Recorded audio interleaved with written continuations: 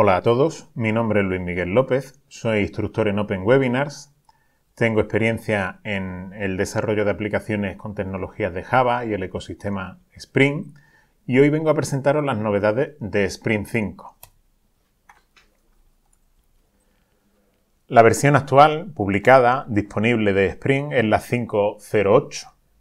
Si alguien necesita todavía usar Spring 4, porque necesite compatibilidad con algún tipo de librería anterior, tiene también disponible la 4.3.18. Si bien esperamos que pronto se pueda liberar, de hecho ya está como, segunda versión candidata la, versión 5.1, ¿no? que la tenemos ya disponible. Spring 5 nos ha traído una serie de novedades bastante interesantes. La principal las podríamos resumir en tres. La primera es el uso total del JDK 8, ¿vale? Eh, se preveía que se usara eh, JDK 9, pero el retraso en el lanzamiento pues provocó que, no pudiera llegar a, utilizarse, si bien sí tenemos compatibilidad. Y también la posibilidad de, vamos, el uso de, de la especificación Java E 7. Las otras dos grandes novedades son la posibilidad de hacer eh, programación reactiva, programación web reactiva con, el nuevo módulo de Webflux y la programación funcional con Kotlin. También tenemos algunas novedades asociadas a las versiones de algunas especificaciones que se utilizan. En el caso de los servers, Beam Validation, JPA, eh, se utilizan bueno, pues las versiones que, tenéis en pantalla. Eh, también la compatibilidad para algunos eh, bueno, pues, servidores o, contenedores como son Tomcat, Yeti, Wildfly, etc. ¿no? Son algunas de las grandes novedades, pero ya digo, sobre todo las grandes novedades se centran en la tecnología subyacente, es decir, eh, el JDK y Java E, y bueno, sobre todo esa nueva, ese nuevo aire de programación web reactiva con Webflux y el uso de Kotlin.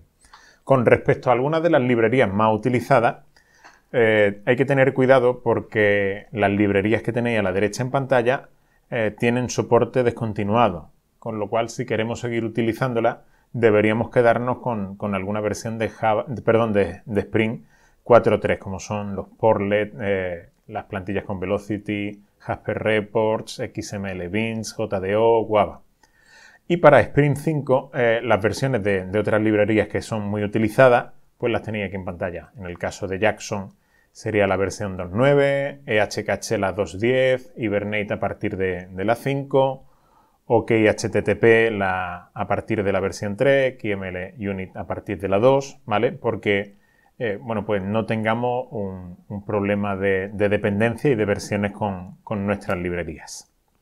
Como os decía, una de las grandes novedades es Webflux, que nos permite bueno, pues transformar nuestra web clásica basada en el esquema de servlets en una web auténticamente reactiva. Pasamos de un esquema de petición-respuesta a uno, bueno, pues que se acerca más al patrón de diseño observer, de publicación y, suscripción. Está basado este módulo en el trabajo de, de, la gente de Pivotal, del proyecto Reactor, que es una librería reactiva para construir aplicaciones no bloqueantes para la máquina virtual de Java y está basada en, la especificación de los stream reactivos.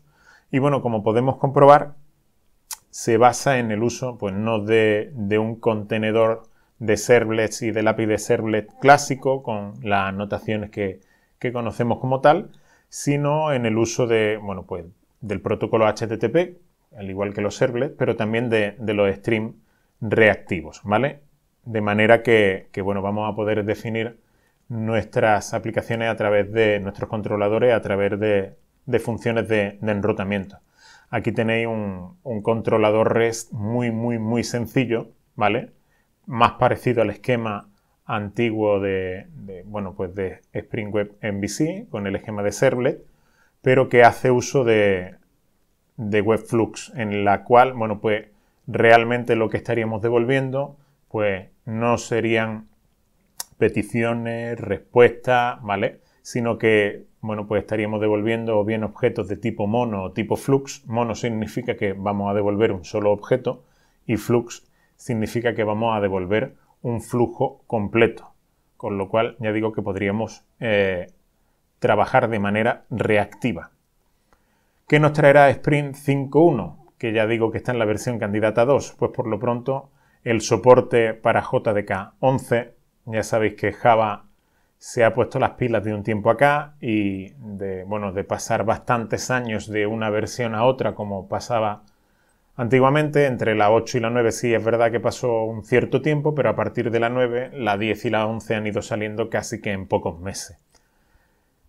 Sprint 5.1 nos dará soporte para JDK 11, también el uso de, algunos módulos que son bastante importantes como ASM, que es un bueno, pues una librería, un API para manipular internamente clases Java.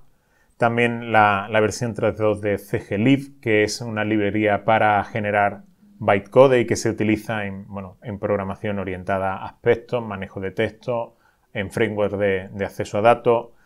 La, la, mejora de la integración con Graal, que es una máquina virtual, virtual políglota para Java y otros lenguajes de programación mucho más rápida algunas mejoras en las aplicaciones web.